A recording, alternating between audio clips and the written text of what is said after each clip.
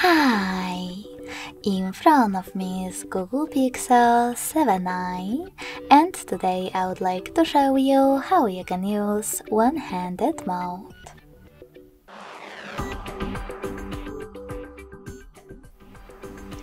You need to begin by opening Devices settings. In them, scroll all the way down and click on System. Then select Gestures.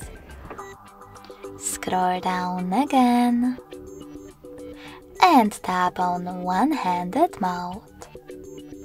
Now, if you are using Tricky's navigation, scroll all the way down and click on this switcher next to one-handed mode shortcut.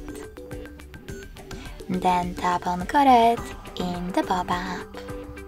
To access one-handed mode, click on the shortcut. As you can see, now it's on. If you want to go back, you can tap over here, swipe up, or click on the same shortcut again. In order to turn it off completely, click on the same switcher over here. If you are using gestures though, I need to change my navigation to show you. You can use this switcher next to use one-handed mode.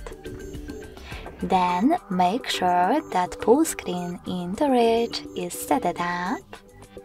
And to access one-handed mode, swipe down from the bottom of your screen.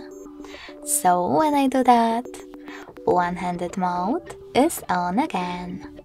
You can go back the same way by clicking here or swiping up. To disable it, select the same switcher. You can also, just in case of gestures, go into Tab menu and switch on or off one-handed mode by tapping on this shortcut.